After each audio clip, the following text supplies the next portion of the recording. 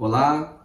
Após dois anos suspensa, será realizada nesta quinta-feira, em Ouro Preto, de forma presencial, a cerimônia de entrega da Medalha da Inconfidência.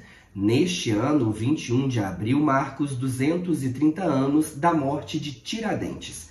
Em 2020 e 2021, devido à pandemia, foram realizados apenas atos simbólicos na Praça Tiradentes, mas sem a presença do público. A Medalha da Inconfidência foi criada em 1952 pelo então governador de Minas Gerais, Juscelino Kubitschek. A medalha é a maior honraria concedida pelo governo do estado a pessoas e instituições que contribuíram para o desenvolvimento de Minas e do Brasil. No dia 21 de abril, a capital do estado é transferida simbolicamente para Ouro Preto. Assim como aconteceu em 2019, neste ano a solenidade será realizada em dois momentos distintos. Veja como vai ficar. A primeira parte da cerimônia vai ser realizada na Praça Tiradentes. A partir das 8 horas da manhã haverá a salva de 21 tiros. Na sequência, o hasteamento da bandeira. E por fim, os dragões da Inconfidência vão depositar uma coroa de flores no monumento em homenagem ao Marte da Inconfidência Mineira. O ritual também vai contar com a presença de militares do Corpo de Bombeiros e da Polícia de Minas Gerais. A segunda parte vai ser realizada no Centro de Artes e Convenções da UFOP.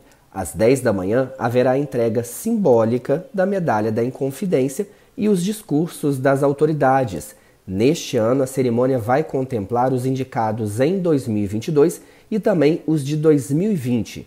Em 2021, não houve indicados para receber a medalha. Ao todo, serão 170 homenageados. E você viu aí que durante a cerimônia haverá uma entrega simbólica da medalha da Inconfidência. Os homenageados, na verdade, vão receber apenas um diploma. De acordo com o prefeito de Ouro Preto, Ângelo Osvaldo, que é integrante da comissão que escolhe os homenageados, a falta das medalhas aconteceu porque o governo de Minas só decidiu realizar a comemoração faltando 41 dias para a data. Com isso, a empresa que produz as medalhas disse que não teria tempo hábil para entregá-las. A entrega será feita posteriormente, em data ainda não definida, lá no Palácio da Inconfidência, onde funciona a Assembleia Legislativa de Minas Gerais, em Belo Horizonte. E neste ano, o grande colar, honraria máxima da cerimônia, será concedido ao presidente do Congresso Nacional, Rodrigo Pacheco. Mas o senador já disse que não poderá comparecer à cerimônia devido a uma viagem oficial que vai fazer para Portugal. Ele também seria o orador oficial da cerimônia. E vale destacar que o evento, tanto na praça como no centro de convenções, será totalmente fechado para o público. Continue acompanhando a cobertura da TV UFOP em nossos canais na TV ou pela internet. É sempre muito bom ter a sua companhia.